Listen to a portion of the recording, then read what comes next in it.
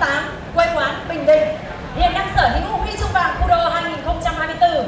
Thành tích thi đấu MMA, một trận thắng, một trận thua, không trận hòa. Và anh đến từ Thành Club. Và đó là máy đào Lê Thành Trung.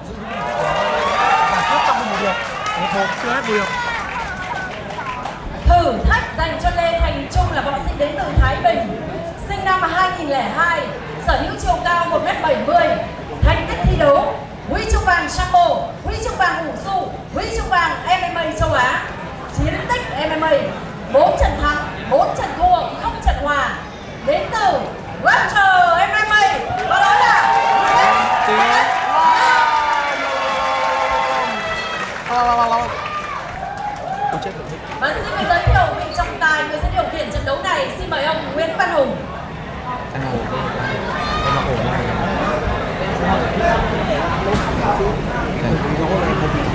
Thằng gà nữa thằng kia gà nữa nó không vào tôi chạm ra.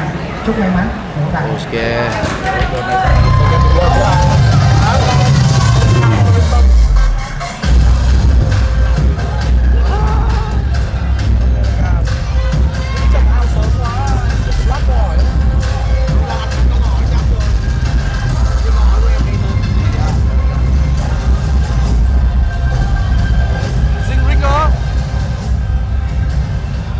Hoàng Kim. Thế mà không kêu. Và chúng ta sẽ đến với trận đấu hạng cân hắc báo Lê Thành Trung đối đầu với Nguyễn Tiến Long. Nguyễn Tiến Long có thế đánh Sabo Sẽ là sự khó chịu với Thành Trung.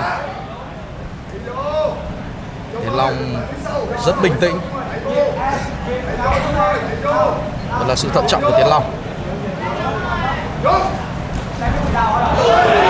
ra vào hợp lý của Tiến Long. Cú tay sau về phía đầu của Thành Trung. Liên tục là những cú jab và cú bụng đến từ phía Tiến Long. Tiến Long vẫn đang giữ cho mình một cự ly ổn định và một nhịp thi đấu tốt. Có lẽ Tiến Long đang chờ đợi cơ hội để tăng tốc. Sơ hở của Thành Trung sẽ là cơ hội của Tiến Long. Cảm quan từ bộ môn kickboxing và bộ môn tán thủ giúp cho Tiến Long giữ được cự ly rất tốt. Và trước giải đấu GMA này thì Tiến Long cũng đã có một trận thi đấu boxing chuyên nghiệp. Điều này sẽ giúp cho Tiến Long có được cự ly tốt trong những pha đổi đòn tay. Vừa rồi trọng tài đã yêu cầu Tiến Long phải thi đấu tích cực hơn. Nhưng bây giờ thì người đang tung ra nhiều đòn đấm và những đòn đá chính xác hơn là Lê Thành Trung.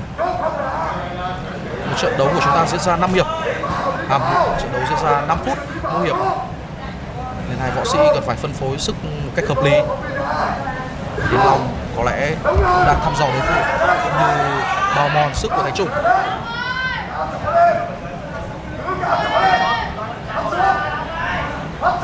Thành Trung phải cẩn thận với những cú đấm và những cú đá từ tay sau và chân sau của Tế Long. Rất nguy hiểm. Những cú đá và những cú đấm sẽ đi thẳng vào vùng mạch cũng như vào vùng gan của Thành Trung vẫn chỉ là những cú jab giữ cự ly của Tiến Long thôi. Không hiểu Tiến Long ý đồ gì và vừa rồi là một tình huống cao tơ tay sau chính xác đến từ vị trí của Lê Thành Trung.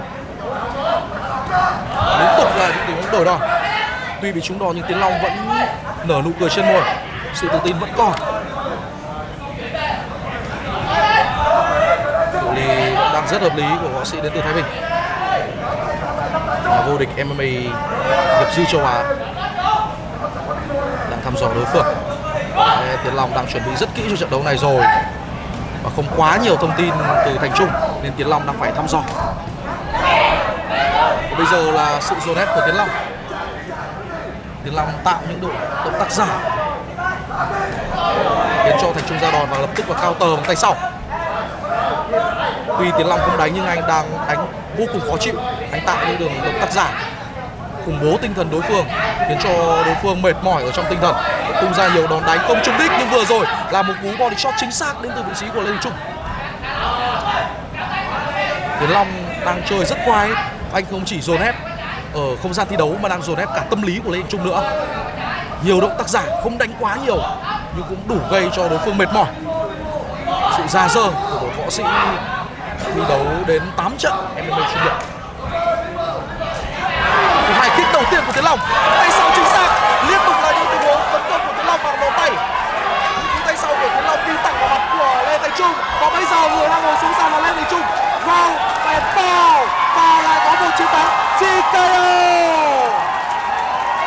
sự khủng bố, sự dồn ép trong cả tinh thần. Và trong lối đánh của Tiến Long đã giúp anh giành chiến thắng. Quá đơn giản để cho nhà vô địch MMA điểm dư châu Á.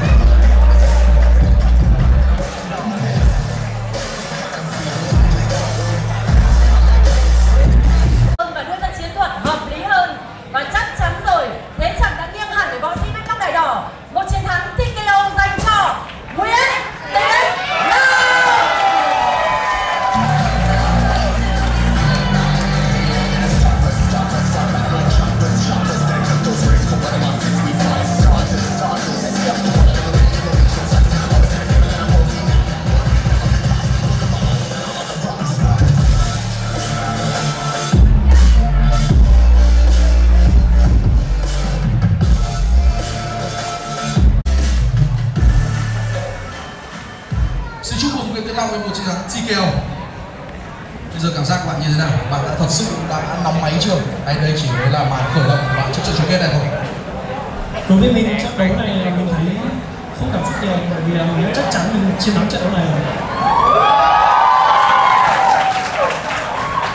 Ở trận đấu này thì tôi thấy bạn không chỉ là uh, thắng TKO mà bạn áp đảo đối phương trong cả tâm lý luôn. Bạn luôn đứng trước mặt của đối thủ của mình và sau đó cái đối thủ mình và tung ra đánh đây không phải là chiến thuật của bạn không áp đảo trong cả tâm lý như trên mặt võ đài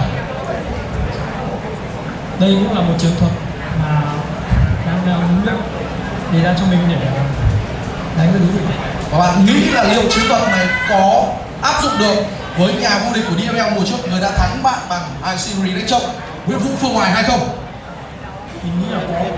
Bạn nghĩ trong trận chung kết bạn có thể giành chiến thắng trước Phương Hoài hay không nào? chắc chắn. Chắc chắn thưa quý vị.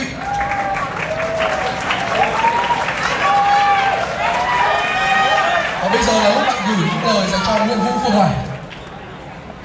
đối thủ à, hãy tập cho mình một body thật săn chắc bởi vì là trận chung kết sắp tới sẽ rất đau đớn Xin cảm ơn và chúc mừng Nguyễn